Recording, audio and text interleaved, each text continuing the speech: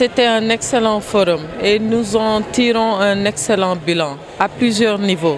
Euh, D'abord, euh, nous avons eu euh, un partenaire stratégique, l'université, ou les universités devrait-on dire, puisqu'au cours du forum, nous avons noté la présence d'imminentes personnalités du monde universitaire, que ce soit le professeur Bounagnan, doyen de la FASEC, en passant par euh, le professeur Kandjura Noba, qui est le directeur de l'Institut agricole, en passant par le professeur Aram Boyfay. Vraiment, nous avons une participation de qualité de nos universités et qui se sont mis à notre disposition avec des laboratoires de recherche comme l'ARTES, avec des experts consultants d'ici et du Maroc et de la Côte d'Ivoire pour qu'ensemble nous puissions mettre toutes les conditions de promotion et d'effectivité de l'économie sociale solidaire euh, dans le cadre d'une loi d'orientation comme l'a indiqué Monsieur le Président de la République. Donc c'est dire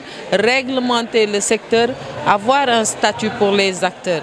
Mais également nous avons pu euh, établir des ponts avec le système financier.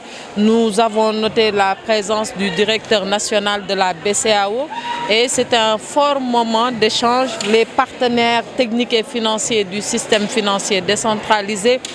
Donc vraiment, c'est un salon qui a regroupé plusieurs sommités, plusieurs thématiques, 5 panels, 18 communications ont été données au cours de ce forum et surtout remercier la présence massive des étudiants.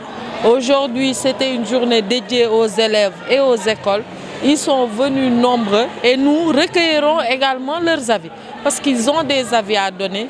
Ils ont été très sensibles à la question de l'emploi, à la question de l'auto-entrepreneuriat et ils ont sollicité un mécanisme spécifique aux étudiants puisque l'étudiant n'a pas de bulletin de salaire.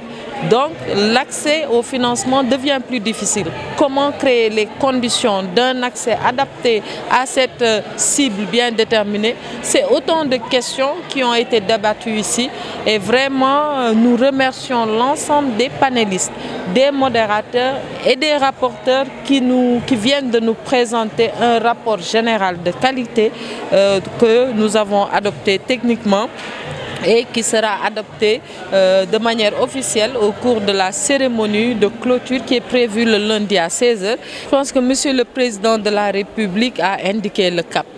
Non seulement la vision est clairement définie, cinq initiatives nationales, PSE Jeunesse à l'horizon 2035, PSE Économie sociale et solidaire, PSE numérique, économie numérique, PSE cap sur l'industrialisation. Donc le cap est clairement défini avec la reforestation et euh, les trois programmes sectoriels, zéro bidonville, zéro déchet, ville créative, avec cinq accès universels, l'eau, l'énergie, les infrastructures de base.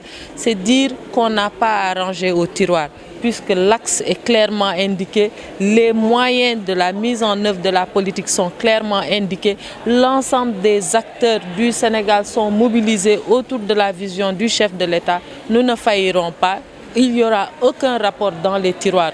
Au contraire, les rapports seront traduits en actes concrets sur l'ensemble du territoire sénégalais et au niveau de la diaspora. Telle est la devise du chef de l'État en mode fast-track.